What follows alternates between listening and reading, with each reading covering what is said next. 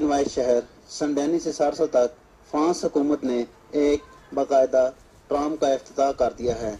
ये ट्राम छः इशारिया छः किलोमीटर लंबाई पर मुहित है। ट्राम को पाँच नंबर ट्राम का नाम दिया गया है। इस ट्राम को पाँच सालों में मुकम्मल किया गया है। ट्राम वे संडैनी पेरिफेत से होती हुई सारसल पहुँचा करेगी। इस ट्राम से ज़्यादातर पाकिस्तानी मुस्तफ़ होंगे, जो इन इलाकों में मुकीम हैं। सारसल से संडैनी तक का सफ़र करने वालों के लिए एक अहम पेशरफ ये भी है कि इसके पाँचवें स्टॉप पर मस्जिद पैरिफित भी कायम है, जो नमाजियों के लिए खुशी का बायस है।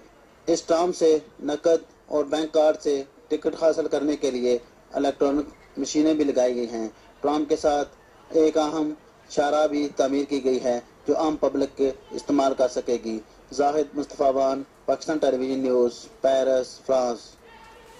Tram के सिलसिले में जायद मुस्तफ़ा आवान ने पेरिस से रिपोर्ट भेजी है बढ़ेंगे कुछ मजीद खबरों की जानब। अफ़गानिस्तान के मशरकी शहर जलालाबाद में भारत के कौंसल खानी के करीब धमाके में नौ